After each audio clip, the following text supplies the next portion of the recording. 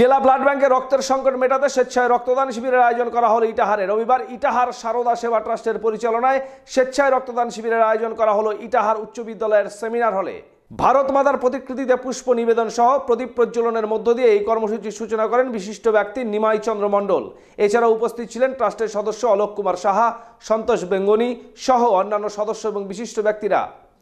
এই কর্মসূচিতে সাধারণ মানুষ সহ ট্রাস্টের সদস্য মিলিয়ে প্রায় পঞ্চাশ জন রক্তদান করেন। পাশাপাশি এদিন ইটাহার সারদা সেবা ট্রাস্টের পক্ষ থেকে প্রত্যেক রক্তদাতাকে গাছ লাগাও, প্রাণ বাঁচাও এই ভাবধারাকে সামনে রেখে একটি করে নিম গাছের চারা তুলে দেওয়া হয়।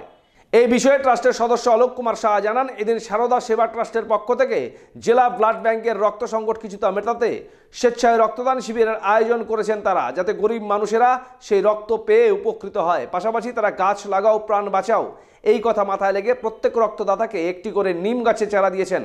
প্রায় পঞ্চাশ জন এই শিবিরে রক্তদান করেছেন বলে এদিন জানান তিনি।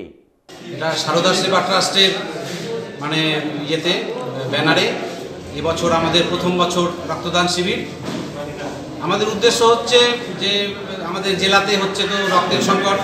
আমরা যতটুকু রক্ত দিয়ে সাহায্য করতে পারি ব্লাড ব্যাংকে সেই রক্ত যাতে দুস্থ গরিবরা পায় এটাই আমাদের উদ্দেশ্য। আর সঙ্গে যারা রক্তদান যারা করছে উম, তাদেরকে আমরা একটা করে ঔষধি গাছ নিম গাছ আমরা একটা করে দিচ্ছি। তাদেরকে আমরা বলছি যে আপনারা গাছটা নিয়ে বাড়িতে লাগান। কারণ বৃক্ষরোপণও সঙ্গে সঙ্গে আমাদের হবে, রক্তদানের সঙ্গে বৃক্ষরোপণও আমাদের একটা ছোট কর্মসূচি।